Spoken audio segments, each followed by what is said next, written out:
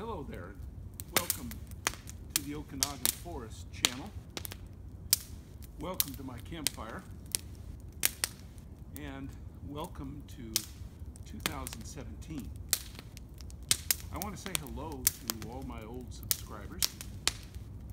And I want to say hello to the new ones too. And I want to tell you a little bit about what I hope to do this year.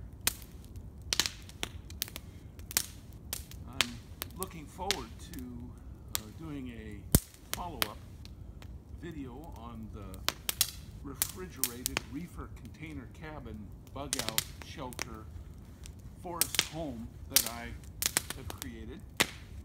After all these years, I think I've finally gotten to the point where it uh, it's how I like it, and I'd like you to see that because I think there's something to learn. Let me also say right at the beginning, I'm not selling anything at all. Everything on my channel is simply ideas for you to enjoy and uh, take advantage of, criticize, and uh, benefit from. This is also a family-friendly channel, so I would uh, hope that you would keep that in mind when you make comments. The other thing that I want to do is I've been using a deadwood stove now for over five years. And I want to go back and do a review of that because it still continues to be one of the best ideas that I've ever found in, uh, in simple forest living and cooking using simple fire and also being prepared for something in the event that there's a difficulty and you need a way to cook your meal, Deadwood stove can't be beat. You know, the other day I was looking at uh, bushcraft video on YouTube, and a lot of them are really good. But what I've discovered is that there's very little frugality in bushcraft with a lot of folks.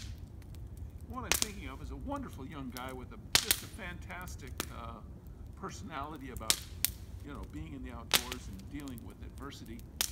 He went on a snow camp, built a beautiful shelter, froze the first night, got warmer the second, and then was off some six or seven hundred miles back home again. And he expended tremendous energy uh, building a beautiful camp that he may never use again.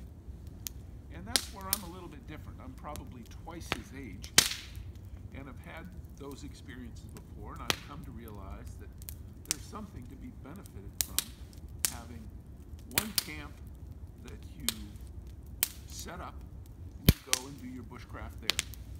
I have been using my cabin now, my refrigerated reefer cabin now for 10 years. And I'll challenge anybody to come up with a more frugal arrangement, both winter and summer. Take a look at the videos and see. The other thing that I don't do is I don't buy $200 bushcraft knives. I don't think it's needed.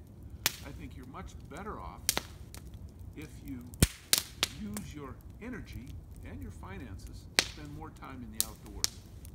So all these new gadgets, uh, they're fun, they're interesting. And if you're stuck in the city and can't get out, you can expend some money on it, going to the store and buying the stuff. But by and large, you don't need it. What you need is experience and time in the woods. Like to think when I get out on the highway in my car that the best safety device is intelligence. And that's the same way in the woods. Um, if you're prepared and thoughtful and experienced, you're liable to turn out much better, both if there's an emergency and if you're just out having fun camping the way I like to do. Well, that's enough for me today. Welcome to the Okanogan Forest Channel, and I welcome your I wish to see comments. I'd love to have people make suggestions on how I can do things better, because after all, this is an educational tool for all of us. So you have a good day. Thanks for stopping by, and good luck with your project.